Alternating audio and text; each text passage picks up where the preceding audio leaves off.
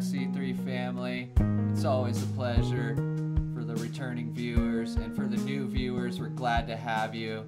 As always, please hit the like and subscribe button and the Fresh Prince of Bel Air notification button if you'd like to be notified. Real quick before we get started, just remember this is not financial advice. We're not financial advisors. This is just for educational purposes.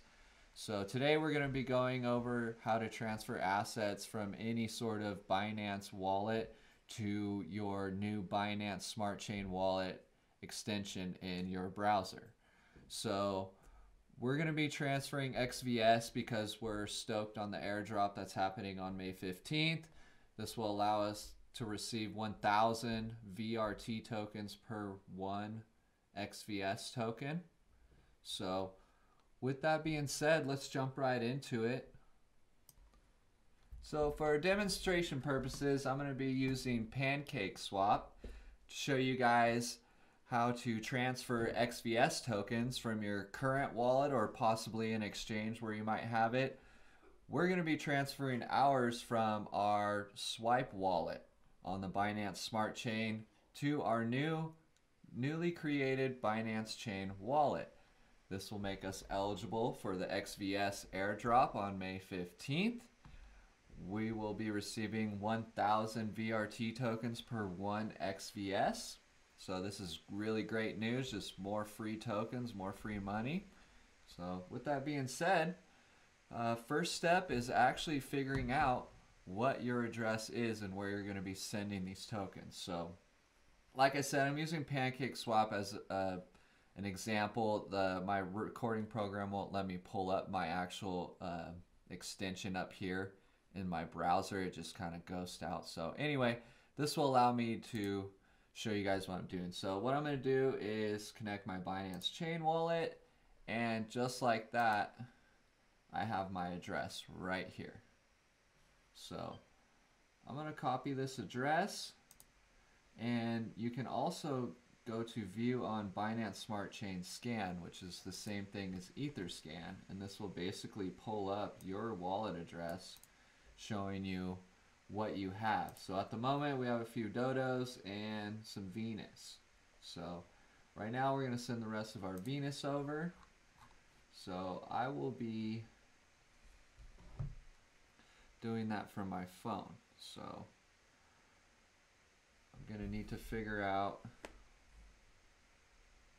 where to send it, which we did up there on uh, here at BSC scan. So I'm going to send a wallet address. I'm going to send all. Oh. Looks like we're trying to send a little bit more than what we have.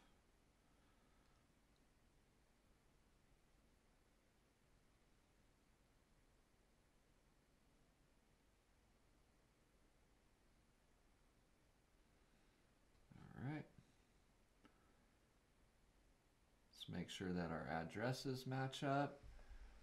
Look at the first five letters and numbers and the last five. Make sure they add up.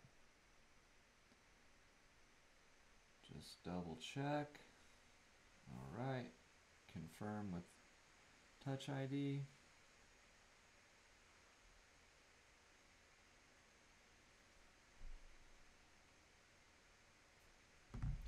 Now our transaction is in the process.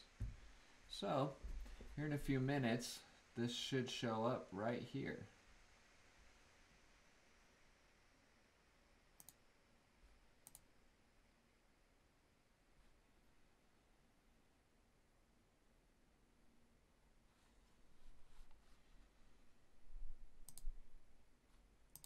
In the meanwhile, some really great news on Ethereum, just crushing all-time highs right now.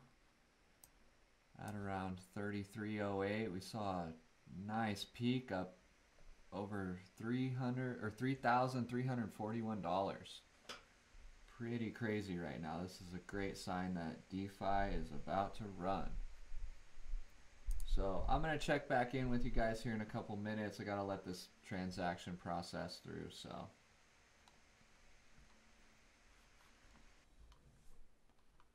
Alright guys, looks like our XVS has shown up. It's only only took five minutes for this transfer, which you know, is pretty funny considering how long it takes to transfer stuff around on the ERC20.